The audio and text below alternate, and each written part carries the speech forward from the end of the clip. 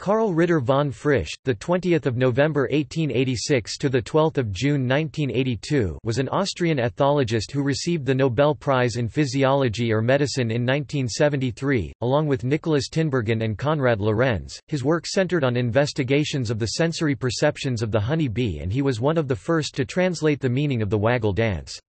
His theory, described in his 1927 book Aus dem Leben der Bienen translated into English as The Dancing Bees, was disputed by other scientists and greeted with skepticism at the time. Only much later was it shown to be an accurate theoretical analysis.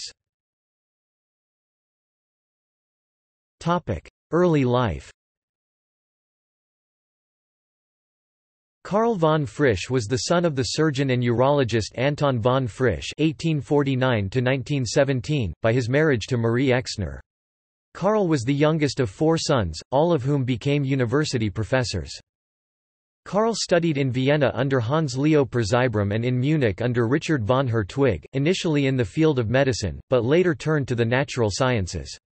He received his doctorate in 1910 and in the same year started work as an assistant in the zoology department of the University of Munich. Career In 1912 he became a lecturer in zoology and comparative anatomy there, and in 1919 was promoted to a professorship. His research on honeybees was continued by his student Ingeborg Beling.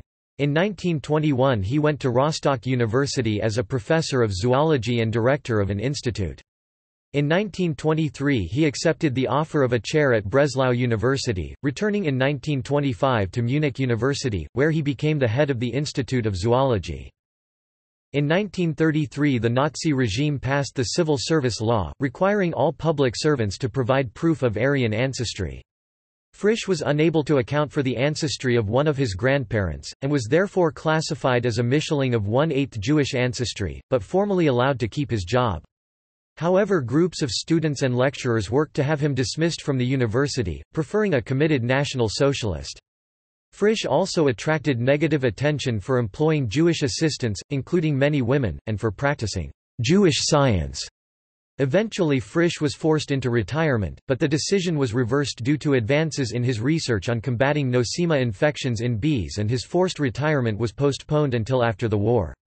Frisch also worked actively to help Polish scientists who had been singled out for internment by the Gestapo. The Institute of Zoology was destroyed in the Second World War, and in 1946 Frisch went to work at the University of Graz, remaining there until 1950, when he returned to the Munich Institute after it was reopened.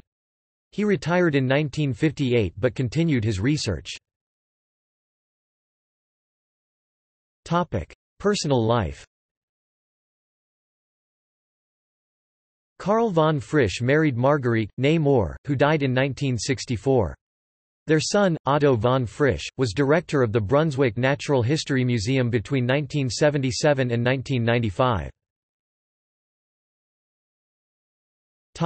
Research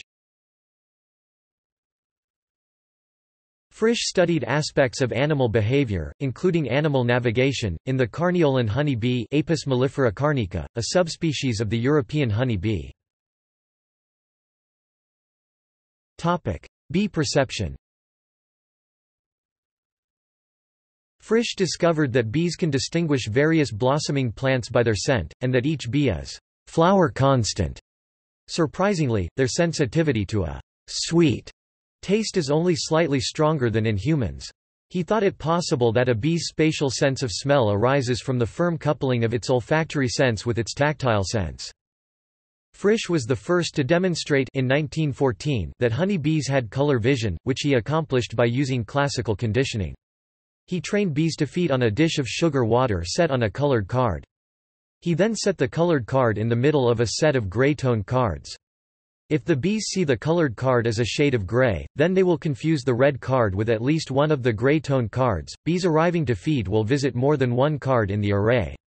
On the other hand, if they have color vision, then the bees visit only the red card, as it is visually distinct from the other cards. A bee's color perception is comparable to that of humans, but with a shift away from the red toward the ultraviolet part of the spectrum. For that reason bees cannot distinguish red from black colorless, but they can distinguish the colors white, yellow, blue and violet. Color pigments which reflect UV radiation expand the spectrum of colors which can be differentiated. For example, several blossoms which may appear to humans to be of the same yellow color will appear to bees as having different colors multicolored patterns because of their different proportions of ultraviolet. Frisch's investigation of a bee's powers of orientation were significant. He discovered that bees can recognize the desired compass direction in three different ways, by the sun, by the polarization pattern of the blue sky, and by the Earth's magnetic field, whereby the sun is used as the main compass, with the alternatives reserved for the conditions arising under cloudy skies or within a dark beehive. Light scattered in a blue sky forms a characteristic pattern of partially polarized light which is dependent on the position of the sun and invisible to human eyes. With a UV receptor in each of the lens units of a compound eye, and a UV filter oriented differently in each of these units, a bee is able to detect this polarization pattern. A small piece of blue sky is enough for a bee to recognize the pattern changes occurring over the course of a day. This provides not only directional but also temporal information. Frisch proved that variations in the position of the sun over the course of a day provided bees with an orientation tool. They use this capability to obtain information about the progression of the day deep inside a dark beehive comparable to what is known from the position of the sun. This makes it possible for the bees to convey always up-to-date directional information during their waggle dance, without having to make a comparison with the sun during long dance phases. This provides them not only with alternative directional information, but also with additional temporal information. Bees have an internal clock with three different synchronization or timekeeping mechanisms. If a bee knows the direction to a feeding place found during a morning excursion, it can also find the same location, as well as the precise time at which this source provides food, in the afternoon, based on the position of the sun based on the magnetic field, the alignment of the plane of a honeycomb under construction e.g., the new honeycomb of a swarm will be the same as that of the home hive of the swarm, according to Frisch. By experiment, even deformed combs bent into a circle can be produced. The vertical alignment of the honeycomb is attributed by Frisch to the ability of bees to identify what is vertical with the help of their head used as a pendulum together with a ring of sensory cells in the neck. Dances as language Knowledge about feeding places can be relayed from bee to bee. The means of communication is a special dance of which there are two forms. Round dance The round dance provides the information that there is a feeding place in the vicinity of the beehive at a distance between 50 and 100 meters, without the particular direction being given. By means of close contact among the bees it also supplies information about the type of food blossom scent. The foraging bee begins to perform a kind of round dance on the part of the comb where she is sitting she starts whirling around in a narrow circle, constantly changing her direction, turning now right, now left, dancing clockwise and anti-clockwise, in quick succession, describing between one and two circles in each direction. This dance is performed among the thickest bustle of the hive. What makes it so particularly striking and attractive is the way it infects the surrounding bees. Those sitting next to the dancer start tripping after her, always trying to keep their outstretched feelers on close contact with the tip of her abdomen. They take part in each of her maneuverings so that the dancer herself, in her mad wheeling movements, appears to carry behind her a perpetual comet's tail of bees. Waggle dance The waggle dance is used to relay information about more distant food sources. In order to do this, the dancing bee moves forward a certain distance on the vertically hanging honeycomb in the hive, then traces a half circle to return to her starting point, whereupon the dance begins again. On the straight stretch, the bee waggles with her posterior. The direction of the straight stretch contains the information about the direction of the food source, the angle between the straight stretch and the vertical being precisely the angle which the direction of flight has to the position of the sun. The distance to the food source is relayed by the time taken to traverse the straight stretch, 1 second indicating a distance of approximately 1 km so the speed of the dance is inversely related to the actual distance. The other bees take in the information by keeping in close contact with the dancing bee and reconstructing its movements. They also receive information via their sense of smell about what is to be found at the food source type of food, pollen, propolis, water as well as its specific characteristics. The orientation functions so well that the bees can find a food source with the help of the waggle dance even if there are hindrances they must detour around like an intervening mountain. As to a sense of hearing, Frisch could not identify this perceptive faculty, but it was assumed that vibrations could be sensed and used for communication during the waggle dance. Confirmation was later provided by Dr. Jürgen Tautz, a bee researcher at Würzburg University's Biocenter. Dialects The linguistic findings described above were based on Frisch's work primarily with the Carnica variety of bees. Investigations with other varieties led to the discovery that language elements were variety-specific, so that how distance and direction information is relayed varies greatly. Other work Frisch's honey bee work included the study of the pheromones that are emitted by the queen bee and her daughters, which maintain the hive's very complex social order. Outside the hive, the pheromones cause the male bees, or drones, to become attracted to a queen and mate with it. Inside the hive, the drones are not affected by the odor. Eugenics Frisch advocated the use of eugenics as far as preventing, through sterilization, people with hereditary diseases from reproducing giving as examples deafness, blindness, hemophilia and crippled limbs. However, he cautioned that, "...such action certainly represents a great restriction of personal liberty and it demands the highest ethical integrity of those men who are responsible for its application." He hoped that this could be introduced through voluntary schemes and education about family planning.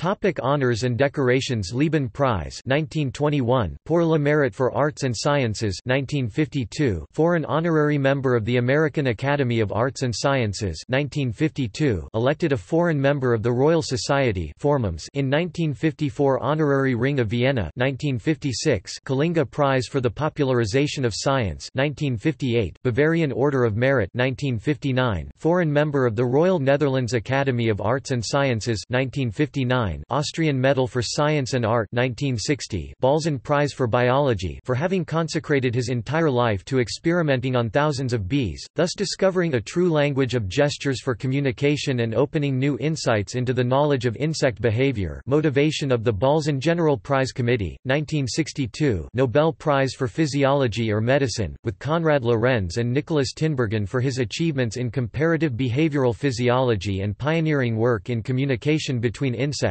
1973 Grand Merit Cross with Star and Sash of the Federal Republic of Germany Gross Verdienstkreuz MIT Stern und Schulterband 1974 Bavarian Maximilian Order for Science and Art 1981 in his honor, the Karl Ritter von Frisch Medal of the German Zoological Society Deutschen Zoologischen Gesellschaft, DZG, is awarded every two years to scientists whose work is distinguished by extraordinary zoological achievements which represent an integration of insights from several different different biological disciplines. It is Germany's most important science prize in zoology and includes prize money of €10,000. Member of the German Academy of Sciences Leopoldina, National Academy of Sciences honorary doctorates from a number of universities, honorary membership of numerous academies and scientific societies topic Publications topic In German Der Farben und Formensinn der Bienen in Zoologische Jahrbucher Physiology 35 1 to 188 1914-15 über den Geruchen der Bienen und sein Blütenbiologische Bedeutung.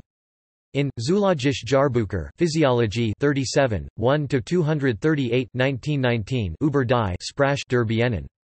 Eine tierpsychologische Untersuchung. In Zoologische Jahrbucher Physiology 40 1 to 186 1923 aus dem Leben der Bienen Springer Verlag Berlin 1927 Untersuchung über den Sitz des Gehirns bei der Elritz.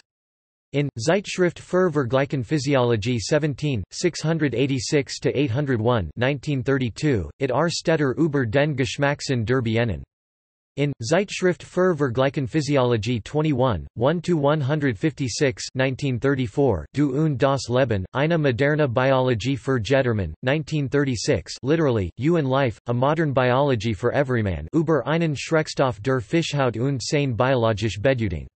In Zeitschrift für vergleichende Physiologie 29, 46–145 1941 Die Tänze der Bienen.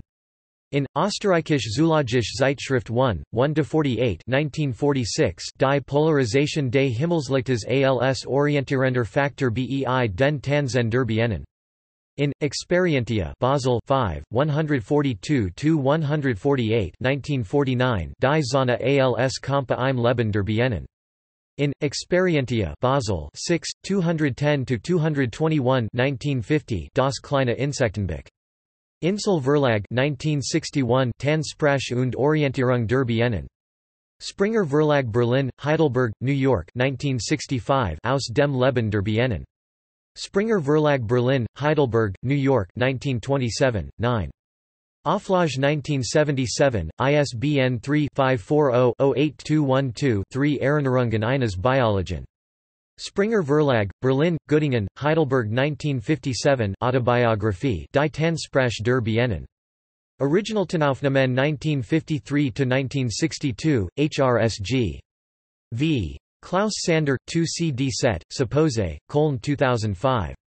ISBN 978-3-932513-56-5 Tier ALS Baumeister. Frankfurt A. M., Ullstein, 1974.